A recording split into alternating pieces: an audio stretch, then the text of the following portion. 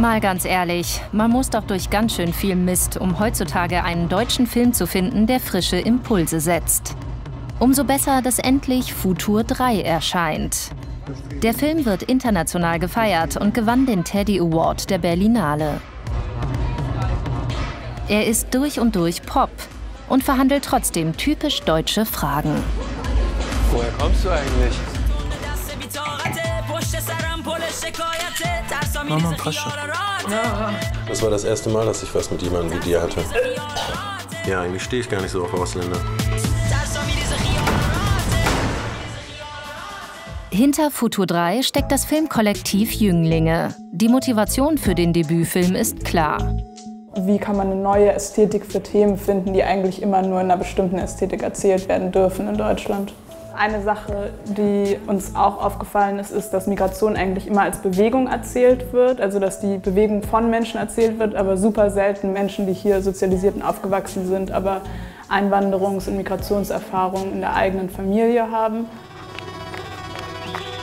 احساس میکنم زندگیم دو قسمت شده اون آدمی که میتونستم باشم و اون آدمی که امروز هستم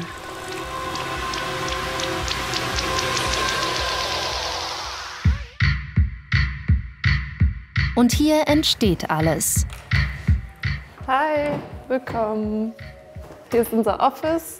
Ähm, hier arbeiten wir als Jünglinge und äh, entwickeln Serien, Filme, dokumentarische Stoffe. Ähm, genau. sind Pfarrers und Raquel. Und wir sind das Kollektiv. Also wir haben alle in Hildesheim studiert. Da einfach gemerkt, dass wir alle an Pop interessiert sind, aber eben auch alle voll politisch sind. Und darüber kam, glaube ich, so diese Connection ähm, von uns dreien. Die letzten Jahre waren halt voll viel so Lo-Fi. Bedroom Producing. Genau, halt so zwischen so Schlafzimmer, Küche, Cafés. Aber eigentlich hatte man so gut wie gar nichts in der Hand, außer halt einer Idee und diesen Ambitionen irgendwie oder so einer Haltung. Sexy love, everybody, you and you. Still got it. Got what? The Zush. P A R V I S 120 Sozialstunden, richtig? So, gerade durch findet ihr die Küche. Oben und unten. Faras Shariat hat Regie bei Futur 3 geführt. Der Ausgangspunkt des Films ist seine eigene Geschichte.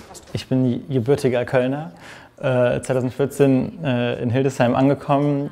Ich hatte sozusagen eigentlich so zu Hause mega viel ähm, Ressourcen, weil meine Eltern haben einen Supermarkt, ich habe immer mega viel zu essen gehabt und dann Uni, nur noch voll wenig Cash. Ich habe angefangen, einfach so Ladendiebstähle irgendwie als mein neues Hobby so zu nehmen und habe voll viel einfach geklaut und wurde dann irgendwann erwischt und musste sozusagen, äh, glaube ich, 120 Sozialstunden damals ähm, leisten. Das war dann Sommer 2015, als ich dann antreten sollte. Und mit so einem Mindset bin ich dann sozusagen in die so-called Refugee Crisis irgendwie gestolpert, ähm, weil ich eigentlich eben so ein ähm, bisschen so YOLO-Millennial-Kid war, das ähm, Kulturwissenschaft studiert, aber eigentlich jetzt nicht so krass politisiert ist oder so. Und habe dann aber in einer ähm, damals noch Notunterkunft für unbegleitete minderjährige Geflüchtete ähm, als Übersetzer gearbeitet und bin dann sozusagen auf super viele Leute getroffen, die in so einem ähm, vorherrschenden deutschen weißen Blick genauso aussehen wie ich und aber ganz andere Situationen bzw. Privilegien so erleben. Kavada olmadı pek bana. Şu asla injuriye, divune ha. Arabi.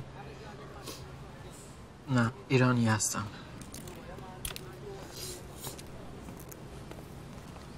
ما اینجا زیادیم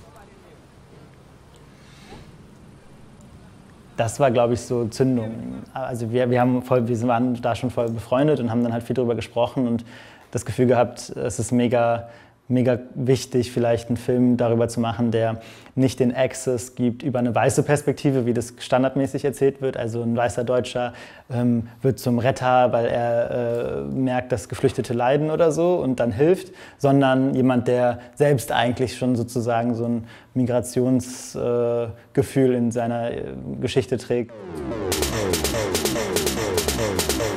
Sexy sad. I'm sexy, but I'm also sad that I'm sexy. Auch sonst schert sich Futur 3 nicht um Konventionen und umschifft die Genrefallen, die die Themenkomplexe queer, migrantisch und coming of age mit sich bringen. Dabei wechselt er wild zwischen Provinzromantik und durchchoreografierten Arthouse-Passagen, Verzweiflung und Utopie, immer mit der Frage nach Identität.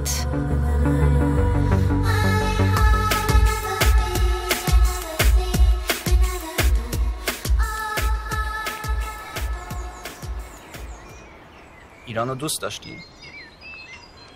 آره دوست داشتم ولی تعجب کردم که همه با هم انگلیسی حرف زدن.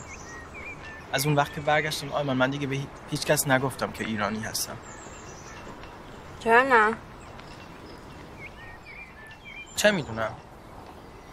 فکر می‌کنم که خیلی چیزا هستم. چه خوب که لازم نیست تصمیم بگیری.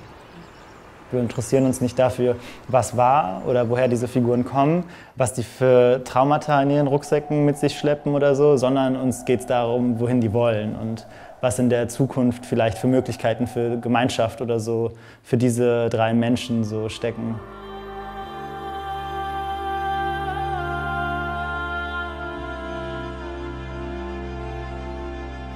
Banafsche sagt ja am Ende, wir sind die Zukunft. Und ich glaube, sie weiß ja irgendwo schon, dass das falsch ist, was sie sagt, weil ähm, Banafsche, Amon und Pavis eigentlich schon längst die Gegenwart sind, bloß die Mehrheitsgesellschaft das irgendwie noch nicht gecheckt hat und noch nicht abbilden kann. Es wird Zeit, deutschen Film neu zu denken und Futur 3 zeigt die Richtung an.